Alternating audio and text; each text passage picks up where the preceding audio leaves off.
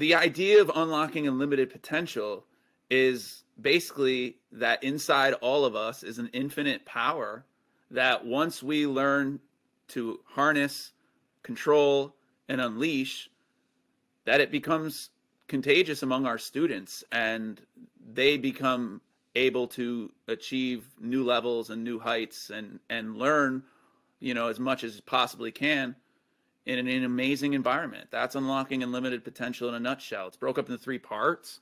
Uh, the first part of the book is the the foundation building the foundation. So the foundation of the book is your why your growth mindset your social emotional learning your core values. The second part of the book is using challenges as opportunities for growth. That's looking at all different stories that have gone on and looking at stories in my life as well um, as being a monolingual, bilingual educator and the discovery of, of what that meant for me and how that changed my life. And I dedicated my doctorate program to writing a dissertation about an area of teaching which I was extremely uncomfortable in um, so that I could have an impact and a better impact. And I learned so much through the process. And that kind of led me to actually writing this book. Um, and then that there's also a chapter in there about COVID in that section, using challenges as opportunities to growth. And the title of the chapter is When One Door Closes, a Virtual One Opens.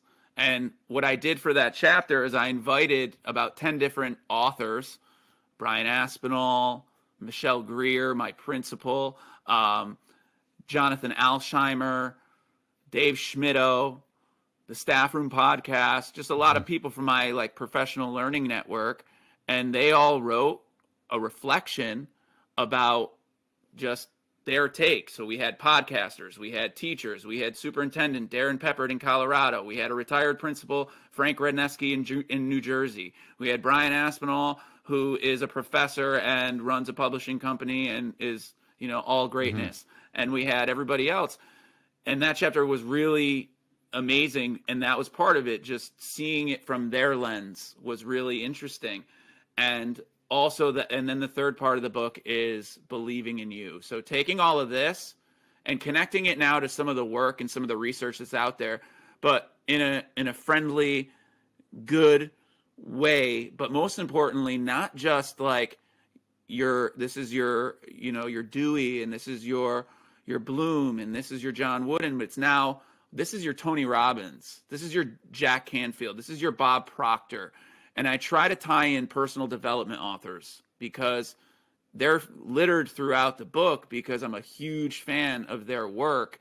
And their work has kind of led me onto this path of writing this book. And i always wanted this book to be able to reach a wide audience. So it's not just a book written for a teacher a mm-hmm. new teacher it's for everybody it's a teacher a new teacher a veteran teacher a parent a principal a superintendent a director a speaker an author it's written for anybody who wants to kind of know what it takes to be a better teacher each and every single day and to live up to this credo of unlocking unlimited potential. So, when, like, like I obviously because uh, of my work with innovators mindset, trying to extend like what goes beyond growth mindset, and kind of talking about like I, I've always talked about looking for those opportunities, you know, when there's obstacles and things like that. And one of the things that I've kind of been bothered with with growth mindset stuff is not like the theory of it, but how it's been used in a way to kind of like kind of just push people into places that they don't they have actually have no interest in going right? And i think a lot of times it's used as a compliance tool right? So like hey if you don't agree with me like you need a growth mindset. It's like maybe i just don't agree with you. Like maybe i actually and, and like i always give the analogy like you can say i have a you can say you have a growth mindset all you want. I don't have a growth mindset towards skydiving. Like i'm not I'm not. There's nothing you could do to talk me into saying like, "Ooh, that's something I could develop it and grow in." And I've I've also watched administrators, um, administrators asking teachers to have a growth mindset about certain practices uh, that they're trying to implement. Yet I see a lot of those administrators doing stuff the way they did 10, 15 years ago and not necessarily connecting. And so how do you see that notion of growth mindset when you're talking about a student like like I, I made the analogy um, when we were talking before there's pretty much nothing you could have done to get me interested in science. And science is just and i'm okay saying this it's not my thing and i'm fine with it being other people's things but there's lots of things that i do very well. There's lots of things i'm really interested in. So how do you see that connected when it's really hard to see a student maybe just doesn't have a passion for what you have a passion for there's so much to be said about that. I could talk for hours, but I think all in what you're saying, there's a couple things. I think the first thing you're saying is that you had people who were just preaching and throwing around the word saying, mm. you got to have a growth mindset. Well, okay, there's one thing saying it, and then there's another thing doing it and living it and actually being a, a solid model for it. And there's also something about making relationships and connections. I mean, if I'm throwing around words like growth mindset, saying, "Hey, you have to have a growth mm-hmm. mindset," mm. I don't really think I think I'm missing the ball because I don't really know my understand my relationship with that person well enough, and I'm not leading in something the right way. This the second thing I would say I would go back to as well is it's more than just the growth mindset. It's not just the growth mindset mm. is mm-hmm. yes, that's a piece of it, and the growth mindset, the ability, you know, the the belief in that abilities can be cultivated is a truth. Yes, mm-hmm. they can. They can be cultivated. We have to find that way to cultivate them. And it might not be that they're passionate about the topic, but do we know their story? Do have we given kids the the opportunity to know their story? I mean, education is is, you know, one foot in the past and the other foot in the future. And we're just kind of in the are we in the middle? Which end of it that are we close to? Mm-hmm. and i think that there's this whole part of emotional learning that we've really dropped the ball on. And i mean i didn't ever talk about feelings when i was in school. I didn't really i, I didn't have a chance to sit down and actually just have my teacher kind of kick back and be like hey how are you doing?